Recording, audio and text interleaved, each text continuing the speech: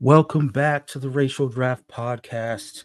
It is a special Martin Luther King Day edition, and we at the Racial Draft Podcast judge our draft picks not by the color of their skin, but by the content of the characters. Yeah, I can only make that joke once a year, and this is that day. Racial Draft begins.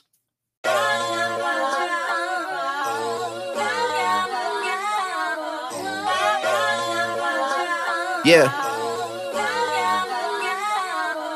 Yeah. Draft day. Johnny Manziel. Five years later, how am I the man still? Draft day. A. Wiggins.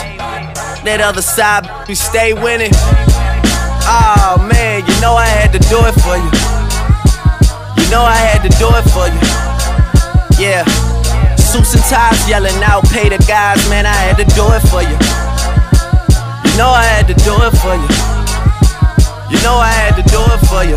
Oh man, oh man, oh man, man. You know I had. Um, I am Michael Ford, your host in this racial draft live stream, which will be available to the podcast listeners uh, who subscribe uh, on all the various platforms. Those platforms being uh, Spotify, Apple, Google, YouTube. If you're looking at my face, and why would you do that?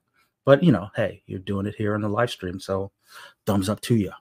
But um, we're just gonna jump right in. We don't have any guests this week. Uh, it's a holiday. There was a football Sunday, and uh, shout out to people who uh, have rooted for the Cowboys. Uh, what's the saying? Uh, it's been a long time.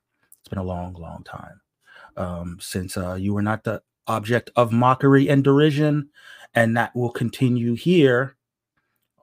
We are sanctioned cowboy mock podcast. So, anyhow, we're just gonna keep keep it moving. We're gonna jump right into the picks from the second round. Uh, there were some interesting interesting developments. Uh, I think that the talent uh, has been distributed pretty well this this time around. I'm looking forward to seeing how these characters kind of perform under their new ages. Ages? Ages? Uh, yeah, sure that'll happen.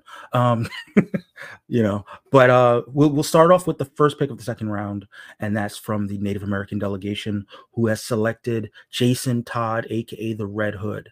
Uh, I believe they drafted the Red Hood last season, uh, performed fairly well for them. Um, I personally think that uh, we've talked about this on a, on a number of occasions that the Red Hood is the kind of character who does lend himself pretty well to a um, to being a person of color, um, particularly because of his you know sort of tougher upbringing. Uh, you know, a little bit, little bit more rough around the edges uh, in an urban setting, and um, you know, Batman kind of did the whole white savior thing for him, or at least you know the uh, privilege uh, taking uh, someone who was a little bit less privileged under his wing, and it ended poorly. Uh, it ended very very poorly, and um, it left um, left Jason with a pretty sizable chip on his shoulder. Um, I think that obviously, um, notwithstanding the negative connotations, you know, the idea of the red hood um, kind of being a symbol that uh, a Native American character uh, would, um, what's the word I'm saying? You know, would occupy. Uh, you know, th- there's some problematic directions it could go for sure, but there are some directions that could be pretty cool. Um, and hopefully, you know, if we get into a little bit of the backstory, as you recall, the Native American delegation drafted Joker, who they also drafted last season, um, you know, as their first round pick. And, you know, obviously there's a strong connection between the Joker and the Red Hood, both in the Joker's origin and in the um, transition from Jason Todd, Robin into the Red Hood, sort of taking on the um, persona of the individual who killed him. So you know, there's there's there's a lot of uh, synergies uh, in that pick from the perspective of the Native American delegation. Uh, in terms of how it was received by the people, um, a little bit shocking. I got to be honest. Um, didn't you know? Unlike in other seasons, uh, it was not met with a high high level of approval. In fact, um, it is was only 45.5% approved. um, with 45.5 strongly approving, 27.3 somewhat disapproving, and 27.3 strongly disapproving. Um, that was, like I said, it was shocking for me. Shocking for me that the, that the majority of the people um, did not uh, enjoy the concept of reimagining the Red Hood through a Native American lens. So, you know, um, you live and you learn. Uh, I would be remiss if I didn't mention that there was a fan cast, same fan cast from last season, uh, D'Pharaoh Woon-A-Tai, uh, who you might know from Reservation Dogs. Um, once again, shocked at the fact that it was only 54.5 uh, percent approval for this pick. I mean, sorry, for this um, fan cast. Um, you know, all 54.5 for their uh, for the credit strongly approve, but then we're still dealing with 27.3 somewhat disapprove and 18.2 strongly disapprove. Um, so, you know, kind of like I said, shocking outcome, but we will press ahead. Uh, we will talk about the Latinx delegation, and they selected as their pick uh, also a uh, recurrence from the previous season. That would be Thor. Now, as I've said before, it's it's, it's often a tough sell um, to try to figure out how to take a character that is so kind of tied into um, Nordic imagery and Nordic culture, um, given his roots in Norse mythology, um, and and take it and apply it to other races. Uh, particularly when you think about um, you know, a Latino Thor, given that um how do I put this delicately?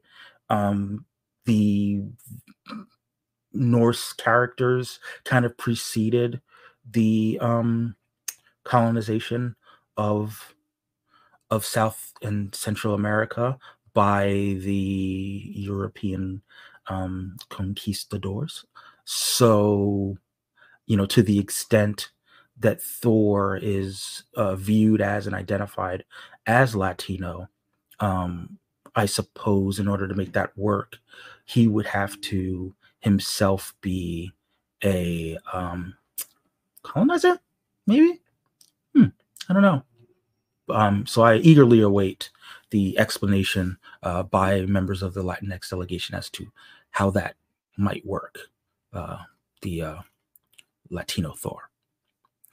Um, the people, they're a little mixed on it. 66.7% approval rating for Latino Thor. Uh, that would be uh, 50%. Uh, yeah, that would be 50% uh, strongly approving and um, 16.7 somewhat approving. In addition, it would be one second, guys. I apologize.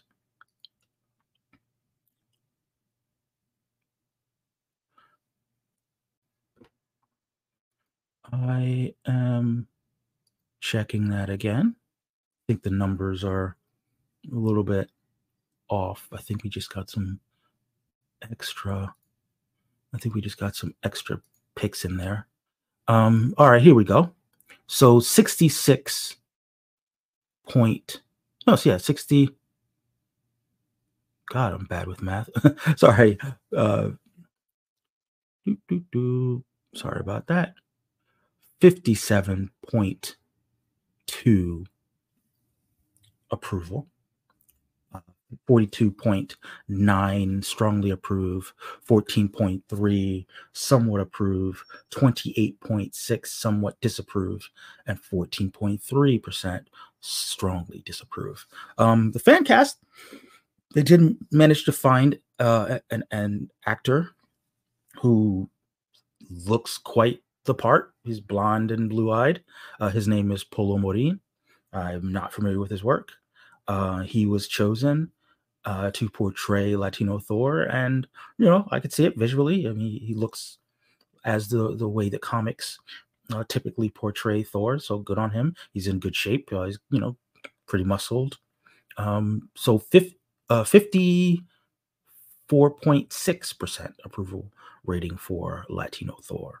So, uh, okay, a little better, a little better. Um, no, not a little bit, a little worse, but a little better 50% is what I was really trying to say. Um, and that was, like I said, 27.3 strongly approved, 27.3 somewhat approved, 18.2 somewhat disapprove, and 27.3 strongly disapprove of Polo Morin as Thor. Uh, we'll keep it moving and talk about the next pick, and that's from the Black delegation.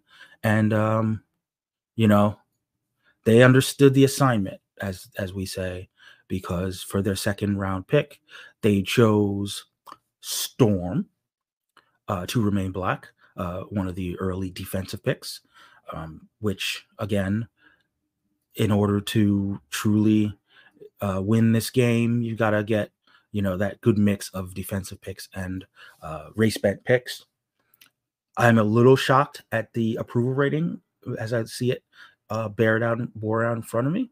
Uh, we are looking at a 71.4 percent approval rating for Storm being black. Now, I just want to flip a table right now. As a black person, I, I am not was not prepared uh, for this outcome on Martin Luther King Day, no less. Wow. Wow. Wow.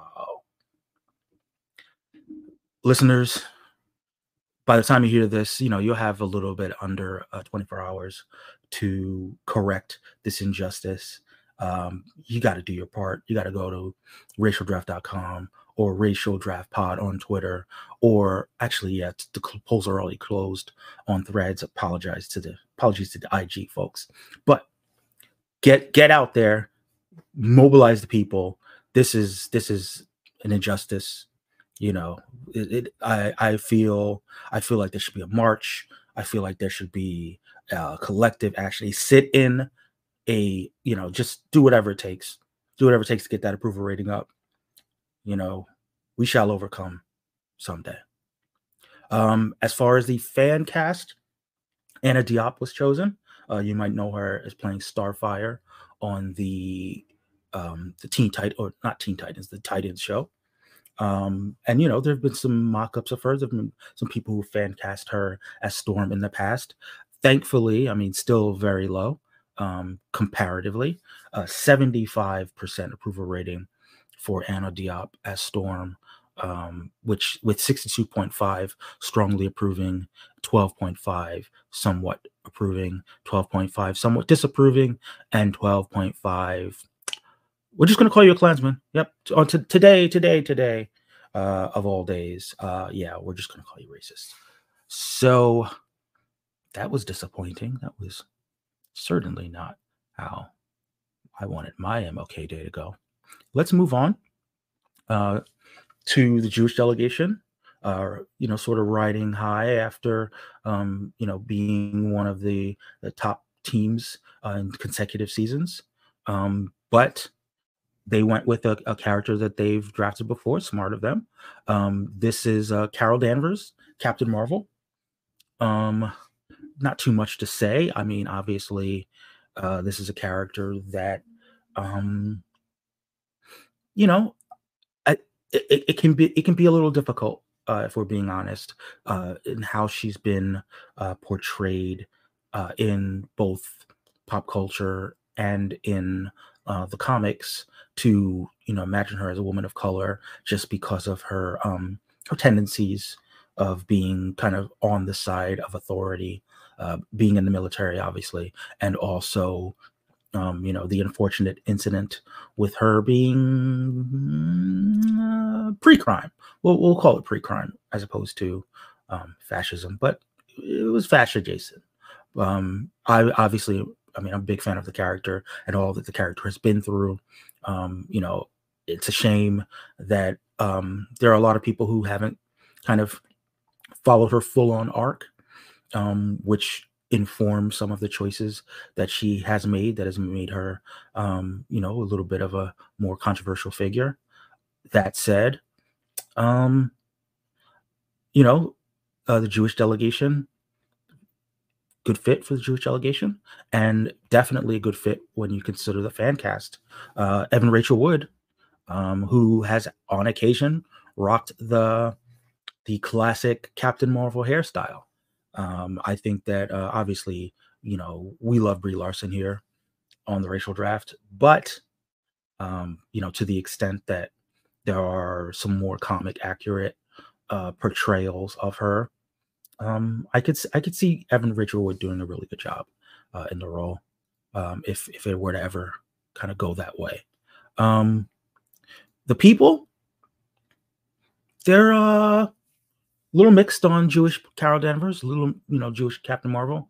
Um, 66.7% approval rating with all 66.7 uh, strongly approving and uh, the 33.3 the third full third uh, somewhat disapproving of Jewish Carol Danvers. So uh, I don't know what's happening there. I don't know, you know, whether it was you know just people who wanted to see uh, Carol sort of go full on Boston hard R.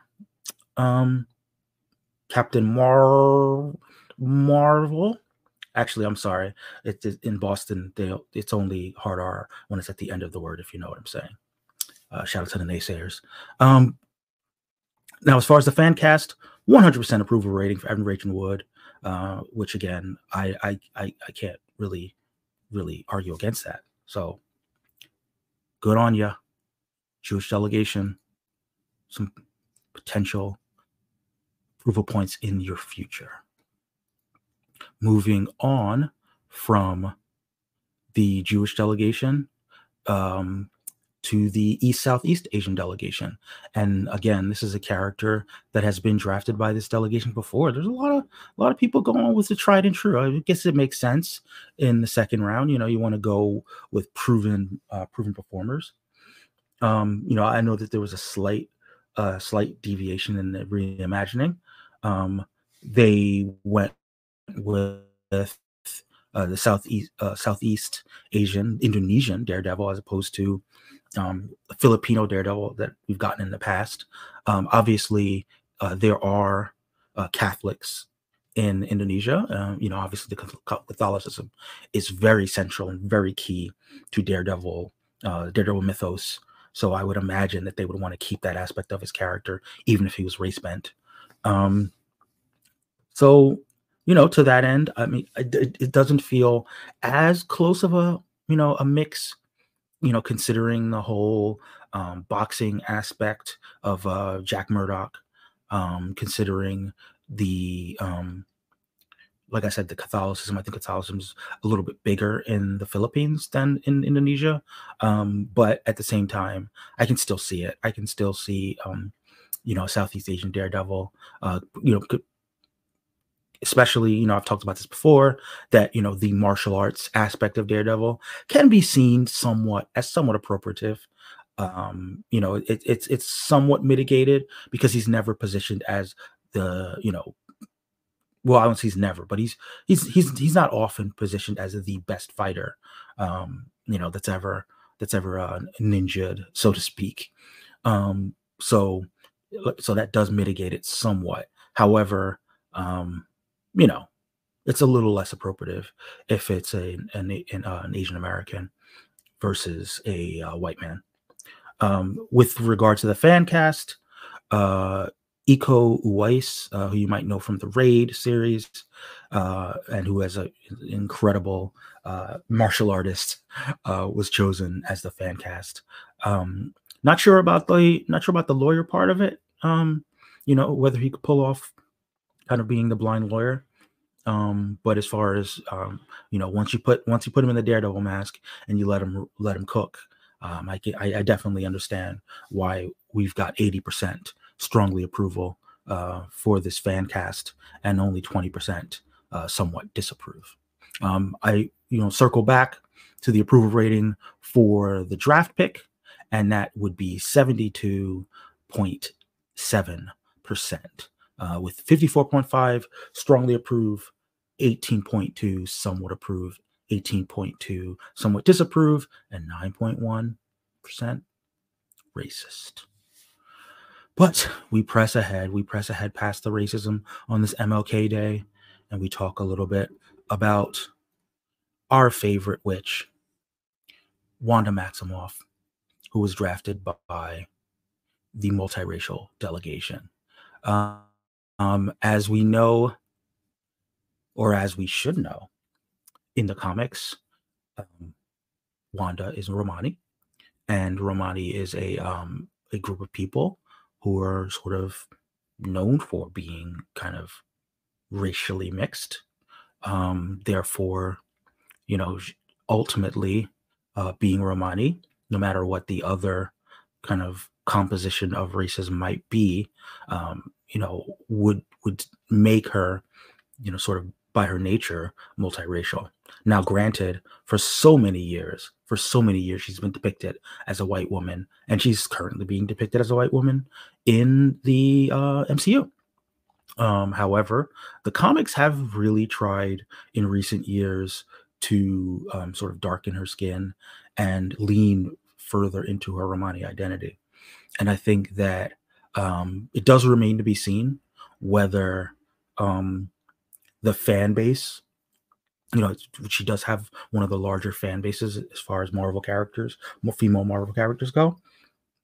Um, sort of who will win out in terms of um, which depiction of of Wanda uh, in pop culture. I mean, like I said, currently, currently the white woman depiction of Wanda is pretty salient. Um, but again, uh, who knows if that will, will change over the years. But as of now, uh, the multiracial delegation can kind of straddle that um, because on on some days maybe she's a little darker than others, um, and maybe some days she's white passing. Um, we'll you know stay tuned to sort of see how that plays out. Um, you know, we will get some some some further interaction with the with the rest of the picks and, and sort of play that out, play out that string, if you will. Um, as far as the approval rating for the pick, uh, we are looking at 85.8% approval for multiracial Wanda Maximoff, which is a little higher than I expected, I'm being honest. Um, 42.9 strongly approve, 42.9 somewhat approve, 14.3 somewhat disapprove. So go ahead, and, like I said, racialdraft.com or uh, racial draft pod on Twitter. Get your votes in. There's still enough time to sort of lift or sink the um, the approval rating. We shall move on though from the multiracial Wanda Maximoff to the white delegation, white delegation, and they once again went a little chalky. Uh, first round, they drafted Wolverine, aka Logan. Uh, this time, they draft Deadpool, Wade Wilson. They've got a movie coming out. Have you heard about that? Oh yeah, and and of course they stuck with the Ryan Reynolds fan cast. I mean, the thing about it is, I I mean, Deadpool could be a person of color for sure but uh he he works. He, he he, certainly works as a white guy as an irreverent um you know canadian devil may care type character. And um you know who better than a white man to sort of um just kind of lean into the fact that he's a bit of a jerk. Um so i mean ryan reynolds does an, an amazing job in the role. Uh i don't have too much of an issue with that uh, holding with holding on to that fan cast. It's hard to imagine. Uh, obviously, there are other actors uh, who could do a good job, but it's hard to imagine uh, someone being a better Deadpool than Ryan Reynolds. He's put so much of his himself and his own persona into that character over the years, and um, I think it's going to be a successful outing. Um, his entrance into the MCU. Uh, and I think that you know he's going to be a major player uh, for years to come. So good on the white delegation for locking down a, uh, a white star and, ma- and making sure that he stays home uh, with the white delegation. Uh, and the people, the people sort of feel feel like I feel. Uh, ninety point nine percent approval rating for the pick, and uh, ninety point nine percent approval rating for the fan cast. So almost unanimous in their support of staying white on the Deadpool side. White Wade Wilson, uh, WWW. moving on from the white delegation to the Swana Mena delegation. Um, I'm sure this would be a little bit more controversial uh, as they selected Pamela Is Dr. Pamela Isley. Let's give her respect, aka Poison Ivy, uh, Egyptian, um, which uh, you know, incidentally, Egypt is where um, gardening was invented, and it's one of the places, uh, or not Egypt, but uh, that part of the world is where the first plants um, originated. Um, so, you know, I think there's something to the idea that that plant life, being indigenous to that region, that there would be an activist on behalf of the plants um, who is whose uh, advocacy for um, both the land and the life in that land uh, would be sort of misinterpreted as terrorism. Hmm.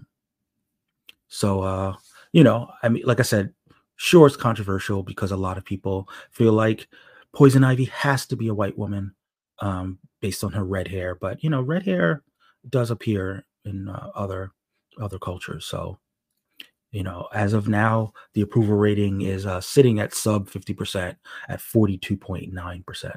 Uh, luckily, uh, well, thankfully, 42.9 is all strongly disapprove.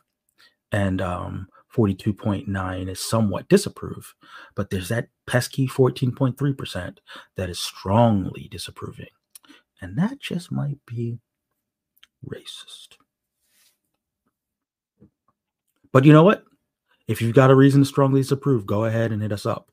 Uh, you know, we've got email. I should have mentioned that before, but uh, racial draft podcast at gmail.com is where you could send us an email, sort of long form uh, long form responses uh, to some of our picks. Um, you can obviously um, comment on our various uh, socials um, as to why you know certain picks uh, didn't work for you or why that you know certain picks actually did work for you and you know we're we're we're big believers in, in feedback so we'll give you you know a chance to uh, have your voice heard on the podcast um, if you have particular partic- particularized uh, particularized, there we go, responses to the picks.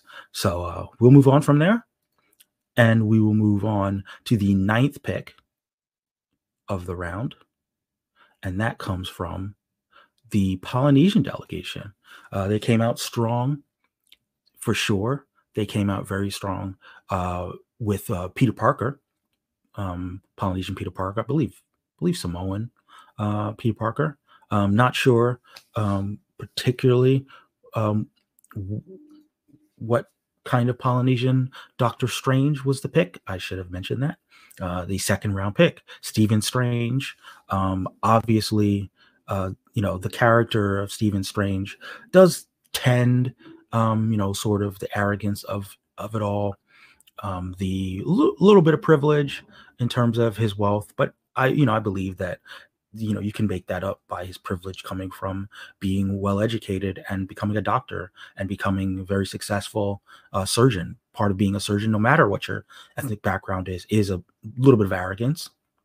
So you know i definitely think that you don't lose much by making doctor strange uh, polynesian.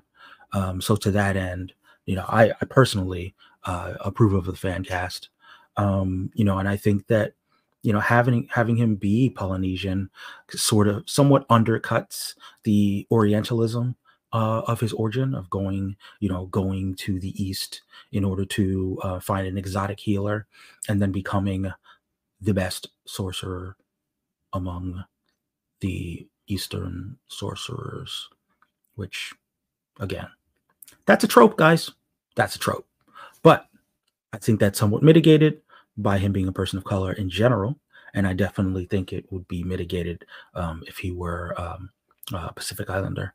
So, um, you know, remains to be seen kind of how the specificities work out. Um, but as of now, I, I dig it. Um, people, they sort of dig it too 71.4% approval not not too bad, not too shabby. Um, 57.1 strongly approve, 14.3 somewhat approve, and 28.6 somewhat disapprove. So that's uh, Polynesian Doctor Strange. And you and like I said, you guys have more than enough time to cast your votes, um, approving or disapproving of the picks at all the fun places. Uh, racialdraft.com, racial draft pod on Twitter. And uh, again, I got to remind people uh, you got to follow us on streams. The only thing about the streams, polls, streams, threads, I do that. I do that all the time. The only thing about the threads polls is the thread polls are only for 24 hours. So you really have to follow us there on threads if you want to get your votes in there. Um, you know, because as soon as it goes up, you got to get your votes in. Um, and then, you know, 24 hours later, we sort of know what the instant reaction to the polls or to the picks are on those polls. And then we bring us, that brings us to the final pick of round two last but certainly not least, one of the fastest up and coming star characters in the Marvel Universe, Ms. Marvel herself, Kamala Khan, Iman Vellani fan cast. What's there to, what is there not to love about this character? And what is there not to love about the casting. I mean, we're yeah, I mean, uh, what's there to say? I mean, this is a character that has that, you know, sort of has been really important for South Asian representation. Um, uh, I mean, I I'm not particularly qualified to speak on it, um, obvious, but I can speak on just how uh, um, how well written um, and how much humanity continues to permeate the character, how the, how she's been written, and how she's been just a, a breath of fresh air in, uh, in, in Marvel fandom. And you know, it's really hard to look at uh, people who don't like the character in a positive light because of just how heroic and how meaningful um, and how culturally resonant she is. Um, and wholesome in, a, in a way. So um, great, great pickup. Um, the people, the, the, response to this pick um, is, is, phenomenal. Obviously, um, it's, it's 90 i mean it should be unanimous. I'm a little disappointed at the lack of unanimity but you know the, the sheer number of votes that were cast both for the pick and for the fan cast um, bravo. Um, take note other delegations get your get your weight up but uh, 95% approval for South A- or Miss Marvel remaining South Asian, and um,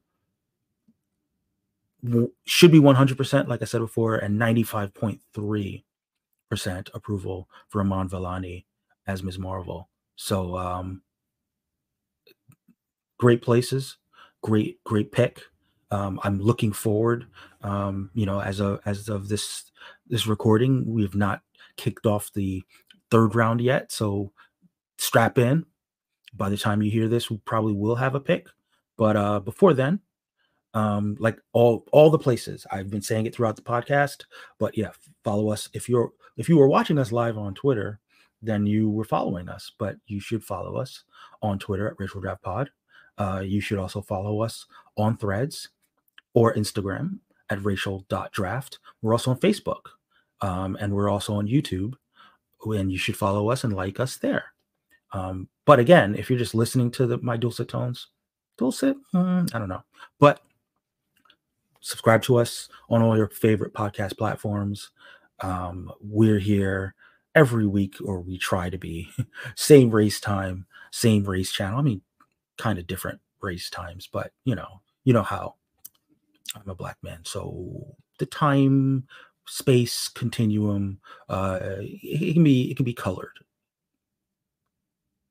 differently anyhow that's it for this week the racial draft podcast come on back i promise we'll get a guest every now and then um, but you know we haven't you know with the holidays and everything uh, it's just been solo rides but uh, until next time all things are possible